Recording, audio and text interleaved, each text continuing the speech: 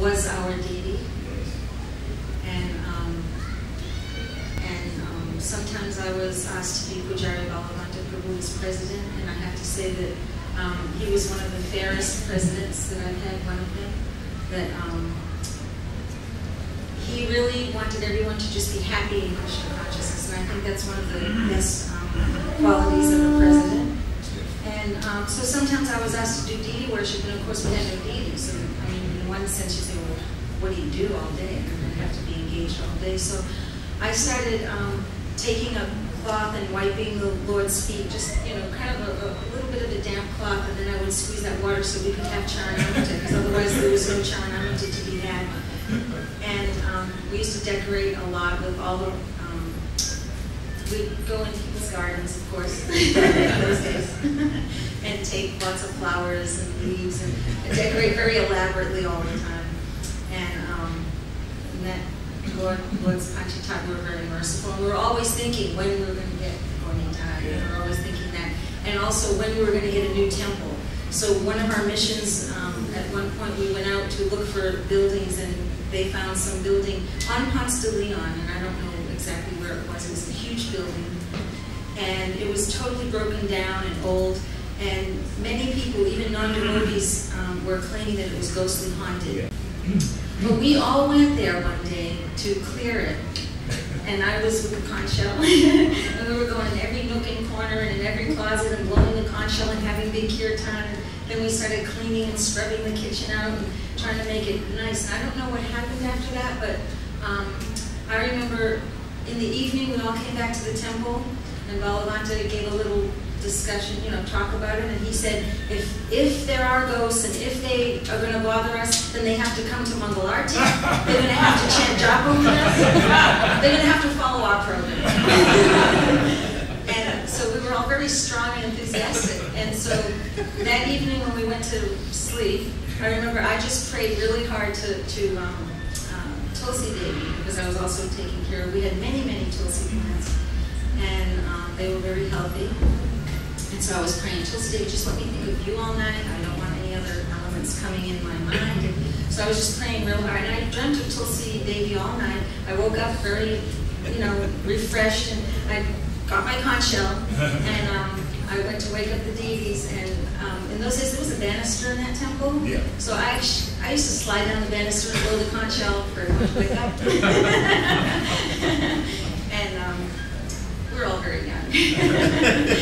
and um, I remember when I was blowing this conch shell, like the devotees were just kind of getting up, and the brahmacharis were down in the basement, and some of them were coming up. Gokularanjana was a brahmachari, and he came up and he's going, "Oh, we all had terrible dreams," and they were all like totally freaked out. And and, and uh, then Balavanta again said, "Everyone come in the temple room as soon as you're clean," and we all went in the temple. And again, he said they're going to have to come to this Mangalarti like this, and so we had ecstatic Mangalarti, like more enthusiastic than ever, to, and more conch shell blowing.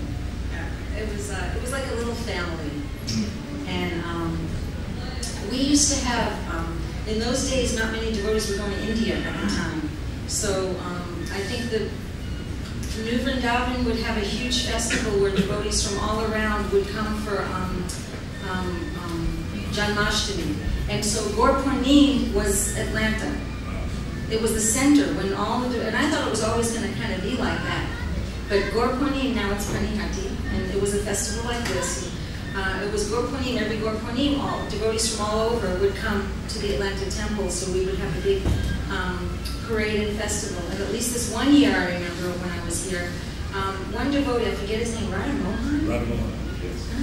He made a huge Lord Chaitanya out of paper mache. I mean, it was like up to the um, fans. And huge Lord Chaitanya, very beautiful.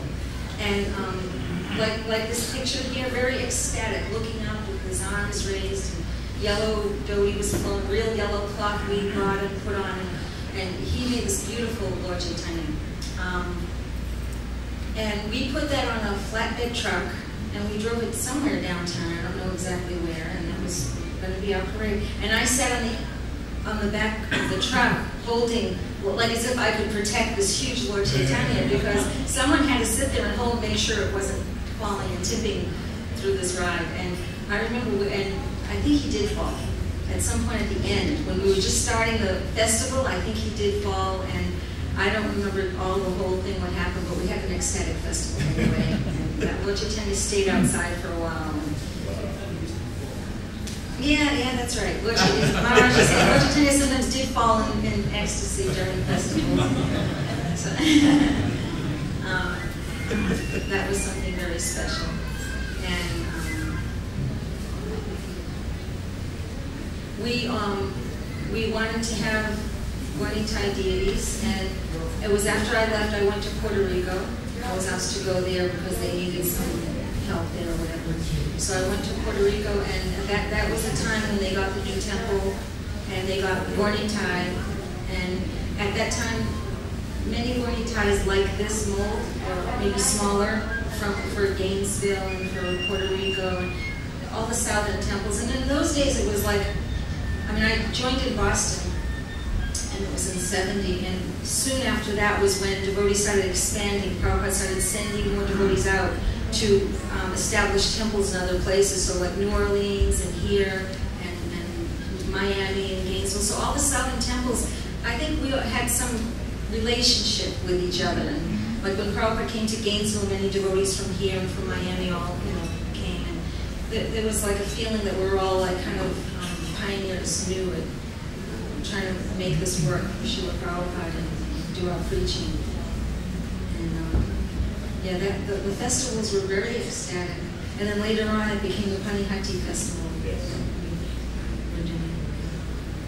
Thank you. Hare Krishna. Whoa!